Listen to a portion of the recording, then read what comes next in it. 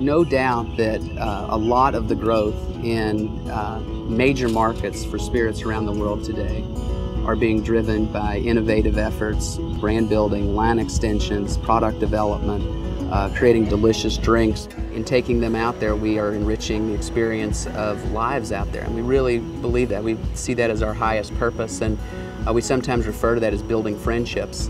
And so that's an important, uh, almost emotional aspect of the work that we think goes on at Brown-Forman. Here we are in the bluegrass country of Kentucky in Woodford County. Yeah. We're surrounded by nice traditional old buildings, but at the same time there are people all over the world right now engaged in places like Shanghai and Moscow and, and Rio and Mexico City building a global business uh, at run rates that are really pretty remarkable in any industry and certainly in today's economy, and, and it's all from, from here in the state of Kentucky. At times, people would have thought, particularly with the whiskey skew, that it's a mainstay, old style, very traditional uh, type of category. And with, uh, I think, new ways to drink it and consume it, new ways to position these brands, uh, new ways to offer to a demanding public that wants continuing convenience, I think our industry has responded very well. I know our company feels very proud of the work that's gone on on, on the front, uh, particularly related to flavored whiskeys.